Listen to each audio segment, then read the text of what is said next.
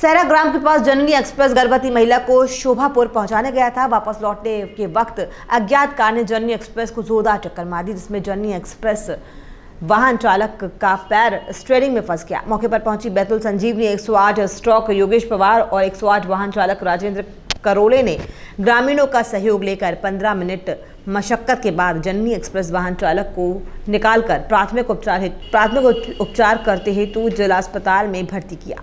जननी express वाहन चालक सुनील पिता, गोरेलाल आयु 21 वर्ष, चुनालोमा निवासी को जिला अस्पताल ले जाया गया। जिला अस्पताल में इलाज जारी है।